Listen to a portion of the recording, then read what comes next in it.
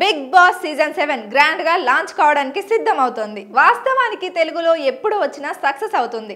కానీ ఆరో సీజన్ అంతగా వర్కౌట్ అవ్వలేదు. దీంతో ఇప్పుడు ఏడో దాన్ని నిర్వాహకులు ప్రతిష్టాత్మకంగా తీసుకున్నారు. ఇందులో భాగంగానే ఈ సీజన్ను సరికొత్తగా తీసుకురాబోతున్నట్లు నాగార్జున వెల్లడించారు.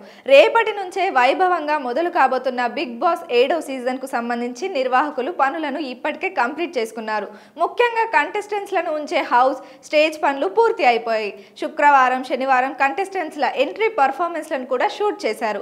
యాభై మందికి పైగా కంటెస్టెంట్స్ని ఇంటర్వ్యూ చేసి చివరికి ఇరవై రెండు మందిని ఎంపిక చేసినట్టు తెలుస్తోంది. ఇప్పటికే కొంతమంది పేర్లు సామాజిక మాధ్యమాల్లో సర్క్యులేట్ అవుతున్నాయి.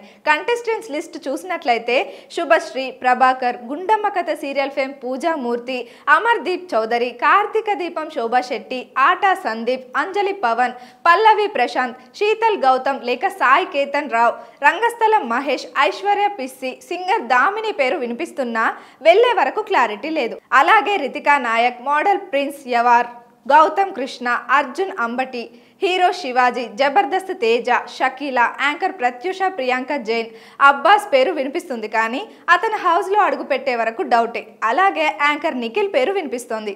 దాదాపు ఇరవై రెండు మంది హౌస్లోకి వెళ్తారు. అయితే ఇరవై ఒకటి మందిని ఆదివారం ఎపిసోడ్లో చూపించి ఒకరిని సీక్రెట్ రూమ్లో ఉంచే అవకాశం ఉందని సమాచారం. రితికా నాయక్ ఐశ్వర్య ప్రిసిలలో ఎవరో ఒకరు సీక్రెట్ రూమ్లో ఉండే అవకాశం ఉందని టాక్. అలాగే ఫర్జానా కిరణ్ రాథోడ్ల పేర్లు వినిపిస్తున్నాయి. ఇక బిగ్ బాస్ ఏడో సీజన్లో పాల్గొనే కంటెస్టెంట్స్లలో ఎక్కువ మందిని అమ్మాయిలనే సెలెక్ట్ చేశారని తెలిసింది. గ్లామర్ ట్రీతో ఆడియన్స్ని అలరించనున్నట్టు తెలుస్తోంది. పైన లిస్టులో ఒకటి రెండు మార్పులు తప్ప దాదాపు వీరే ఉండే ఛాన్స్ ఉన్నట్టు తెలుస్తోంది.